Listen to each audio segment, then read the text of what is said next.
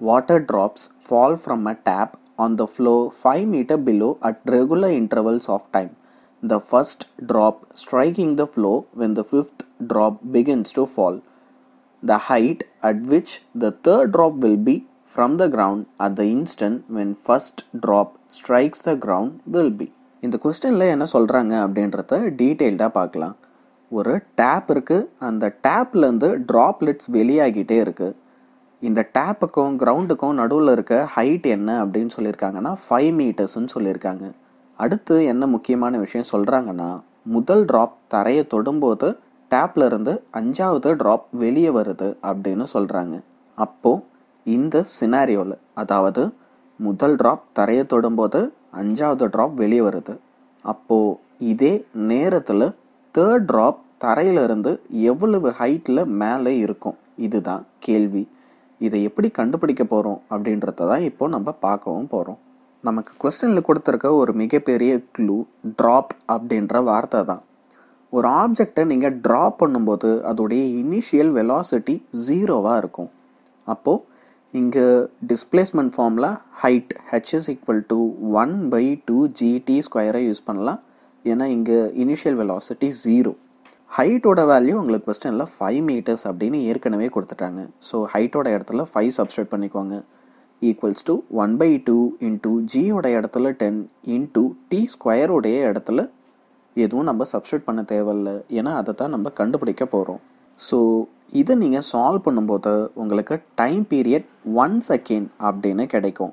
இப்போ நீங்கள் கண்டுபிடிச்சிருக்க time period என்ன அப்படின்னா ஒரு ட்ராப்லெட் டேப்லேருந்து வெளியே வந்து கிரவுண்டை தொடுறதுக்கு டோட்டலாக எடுத்துக்கிற டைம் அப்போது முதல் ட்ராப்லெட் தரையை தொடும்போது ஏற்கனவே இன்னும் நாலு ட்ராப்லெட்ஸ் வந்திருக்கு. கொஸ்டினில் ஒரு முக்கியமான விஷயத்தை நீங்கள் கவனிக்கணும். என்னென்னா இந்த ஒவ்வொரு லிக்விட் ட்ராப்லெட்டும் ஈக்குவல் இன்டர்வல்ஸில் வெளியே வருது அப்படின்னு சொல்கிறாங்க அப்போது ஒவ்வொரு லிக்விட் ட்ராப்லெட்டுக்கு நடுவில் இருக்க டைம் இன்டர்வலும் சேமாக தான் இருக்கணும்.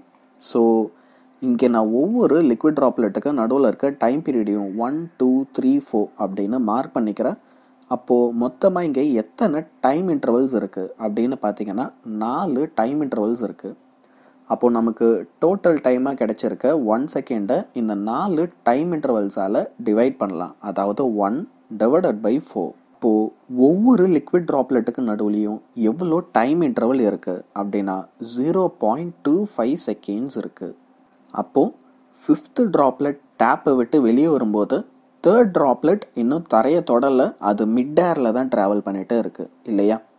அப்போது ஃபிஃப்த்து ட்ராப்லெட்லேருந்து தேர்ட் ட்ராப்லெட் வரைக்கும் எத்தனை டைம் இன்டர்வல்ஸ் இருக்குது அப்படின்னு கவனிச்சிங்கன்னா ரெண்டு டைம் இன்டர்வல்ஸ் இருக்கும்.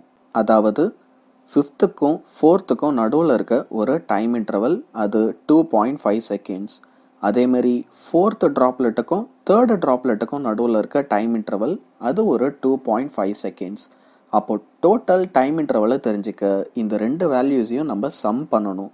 அப்படி சம் பண்ணோன்னா zero point two five plus zero point two five zero point five seconds அப்படின்னு நமக்கு ஆன்சர் கிடைக்கும்.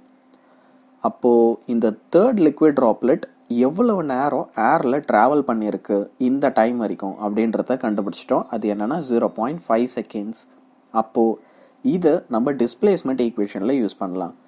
தேர்ட் ட்ராப்லெட் எவ்வளவு தூரம் ட்ராவல் பண்ணியிருக்கு அப்படின்றத தெரிஞ்சுக்க H one is equal to one by two G T one square அப்போது H one is equal to one by two into ஜியோட இடத்துல டென் இன்ட்டு டி ஒன்னோட இடத்துல இப்போ நம்ம கண்டுபிடிச்ச time period zero point five whole square so H ஒன்னுடைய value one point two five metres அப்படின்னு நமக்கு கிடைக்கும். இப்போது நீங்கள் கண்டுபிடிச்சிருக்க இந்த ஹைட் என்ன அப்படின்னா டேப்பில் இருந்து தேர்ட் ட்ராப்லெட் வரைக்கும் இருக்க ஹைட் ஆனால் நம்ம கொஸ்டினில் கேட்டது இந்த தேர்ட் ட்ராப்லெட்ல இருந்து கிரவுண்ட் வரைக்கும் இருக்க ஹைட் அதனால் நம்ம இப்போ என்ன செய்ய போகிறோன்னா டேப்ல இருந்து கிரவுண்ட் வரைக்கும் இருக்க ஹைட்லேருந்து டேப்லேருந்து தேர்ட் ட்ராப்லெட் வரைக்கும் இருக்க ஹைட்டை மைனஸ் பண்ண போகிறோம் அப்போ டேப்லேருந்து கிரவுண்ட் வரைக்கும் இருக்க ஹைட்டை ஃபைவ் மீட்டர்ஸ் அப்படின்னு கொஸ்டினில் கொடுத்துருக்காங்க. அதேமாரி டேப்லேருந்து தேர்டு ட்ராப்லெட் வரைக்கும் இருக்க ஹைட்டை நம்ம one point two five metres அப்படின்னு ஃபைண்ட் அவுட் பண்ணியிருக்கோம்.